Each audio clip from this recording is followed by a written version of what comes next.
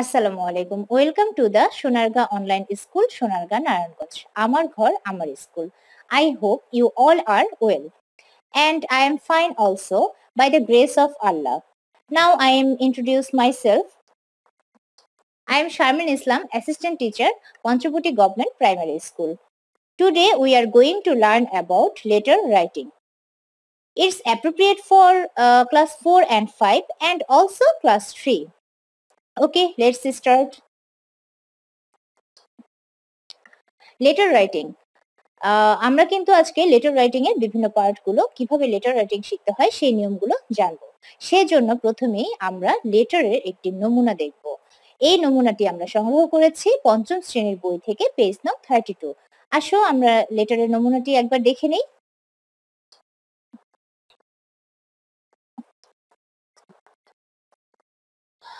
One hundred two Kadimnagar Khadimnagar Kotwali Sylhet Bangladesh 12th March 2020. Dear Jessica, how are you? How was your trip back to London? I am at home today. I have the flu. It's awful. I am coughing a lot and I have runny nose. I am using a lot of tissues. I also have a bad headache. I can't eat very much because I have a stomach ache. But my doctor says I should eat. I also have a fever. Sometimes I am very warm, then I get cold and have chills.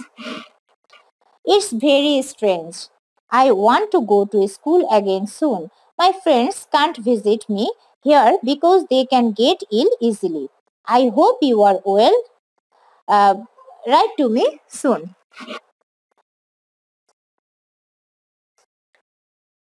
আমরা লেটারের এই নমুনাটি সম্পর্কে, নমুনাটি দেখলাম, শুনলাম।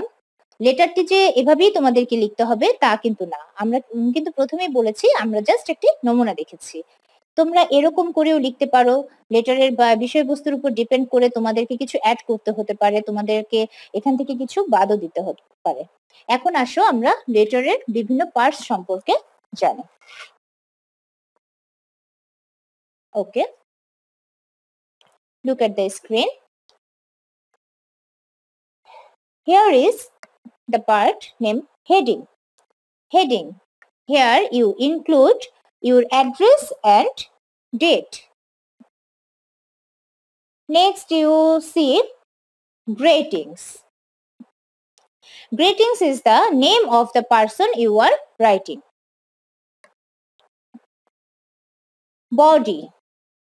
The whole part of the body.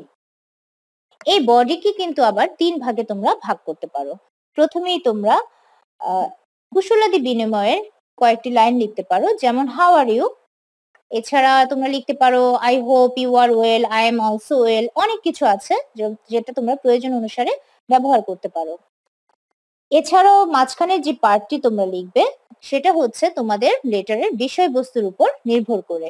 বিষয়ে জাত, যেই সম্পর্কে তোমাদের লেটার লিখতে বলা হবে, সেই সম্পর্কে মাঝখানে তোমরা বর্ণনা করবে। এবং অবশেষে, একদম শেষে বডির শেষ পার্টে তোমরা বন্ধুকে কিংবা যাকে চিঠি লিখছো, তাকে সালাম জানিয়ে, তার বাবা মাকে সালাম জানিয়ে, অথবা তাকে আবার চিঠি লিখতে বলে, বিভিন্নভাবে তুমি কিন্তু এই বডির লেখাটা শেষ করতে পারো। তারপর আসছি আমরা ক্লোজিং ক্লোজিংটা যাকে তুমি চিঠি লিখছো, তার উপর ভিত্তি করে কি হবে সেটা নির্ণয় করা হবে। যেমন, তুমি যদি বন্ধুকে লেখো, অবশ্যই ইউর ফ্রেন্ড হতে পারে। এছাড়া কিন্তু সম্পর্কের উপর ভিত্তি করে ইউর লাভিং হতে পারে ইউর সিনসিয়ার হতে পারে ইউর এভার হতে পারে, সেটা তোমরা বিষয়বস্তুর উপর সম্পর্কিত করে লিখতে হবে। একদম শেষে আসছি আমরা সিগনেচার এখানে তোমার নাম লিখতে হবে রাইট ইউর নেম নেক্সট পার্টে আমরা দেখি, চিঠি তো লিখলাম।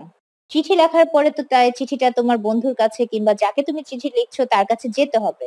সেজন্য আমাদের অতি জরুরি একটি জিনিস হচ্ছে খাম। এখানে তোমরা দেখতে পাচ্ছ, এটি একটি খাম। খামের সবচেয়ে মূল বিষয় কিন্তু স্ট্যাম্প স্ট্যাম্প না লাগালে কিন্তু চিঠি যাবে না। এবং তোমার এই বাদিকের অংশে তোমাকে লিখতে হবে তোমার ঠিকানা। এখানে লিখতে হবে তোমার ঠিকানা এবং ডান দিকের অংশে স্ট্যাম্পের নিচে তুমি, লিখতে হবে তোমার বন্ধু কিংবা তুমি যাকে চিঠি পাঠাচ্ছ তার ঠিকানা।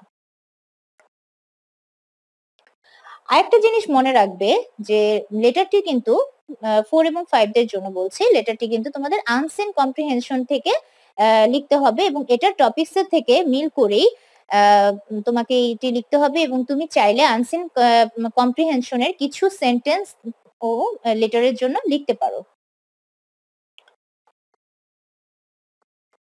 এবার আসছি আমরা একটু কোশ্চেনের ধারণা নিতে।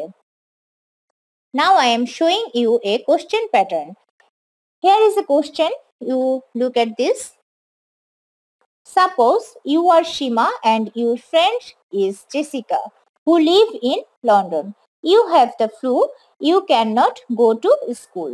Now write a letter to your friend about your health condition এই চিঠির প্রশ্নে আমরা দেখতে পাচ্ছি সীমা একটি মেয়ে, তার বন্ধু জেসিকা যে লন্ডনে থাকে সীমার ফ্লু হয়েছে, সে ফ্লুতে আক্রান্ত, সে স্কুলে যেতে পারছে না তাই সীমা বাড়িতে বসে তার শারীরিক অবস্থার কথা বিবরণ করে তার বন্ধুকে একটি চিঠি লিখেছে।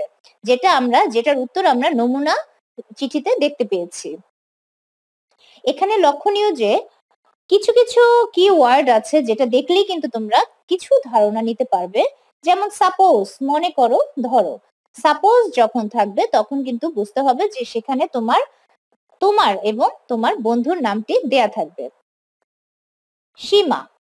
এই সীমা নামটি কিন্তু তোমাদের লেটার ভেদে, তোমাদের কোশ্চেন ভেদে চেঞ্জ হবে। তোমার বন্ধুর নামটিও কিন্তু সব ক্ষেত্রে জেসিকা থাকবে না, এটিও চেঞ্জ হবে। তারপরে তোমরা দেখতে পাচ্ছ ইউর ফ্রেন্ড তোমার বন্ধু। বন্ধু হতে পারে ইউর মাদার হতে পারে ইউর ফাদার হতে পারে, বিভিন্ন কিছু এখানে আসতে পারে। এবং সবচেয়ে important part about about your health condition about কি সম্পর্কে তুমি লিখবে অ্যাবাউট মানে সম্বন্ধে, সম্পর্কে, কি সম্পর্কে তুমি লিখবে সেটা কিন্তু অ্যাবাউট এর পরেই দেয়া থাকে। এবং তোমাকে খেয়াল করে অ্যাবাউট এর পরের অংশটাই ভালো মতো বুঝতে হবে যে চিঠিটি আসলে তোমাকে কি বিষয়ে লিখতে হবে। অনেকেই যদি, অনেকেই কিন্তু চিঠির বিষয়বস্তু না লিখে, না বুঝেই চিঠিটি লিখে ফেলে, যে কারণে তাদের অনেক লেখা সত্ত্বেও মার্কস কমে যায়। এই ভুল কিন্তু তোমাদের আর করা যাবে না। আশা করছি তোমাদের এই ভিডিওটি কাজে লাগবে লেটার রাইটিং এর ক্ষেত্রে। নেক্সট টাইম এই ভুলগুলো আর হবে না। I hope you all are understand you if you have any question don't forget to ask me right below the comment box thank you for visiting and listening for me see you soon with the new video thank you